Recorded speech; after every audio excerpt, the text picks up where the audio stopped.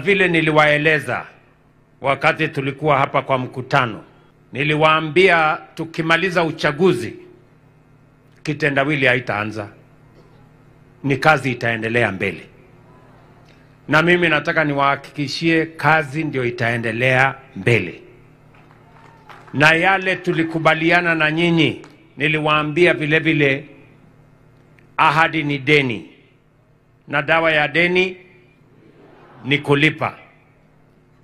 Ahadi ambayo tuliandikiana na nyinyi katika manifesto yetu, hiyo manifesto yetu tutaitekeleza kikamilifu, kwa sababu ndio njia ya kubadilisha taifa letu la Kenya.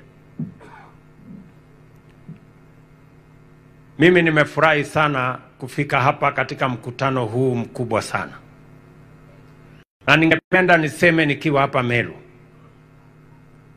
Na niwaambie Wakenya wote ya kwamba sisi kama raia wa taifa la Kenya, kama wananchi citizens wa taifa la Kenya, hii Kenya sisi ndio wenyewe, na tusingojee mtu mwingine ama tusitarajie watu wengine wakuje washughulike na mambo ya taifa letu la Kenya.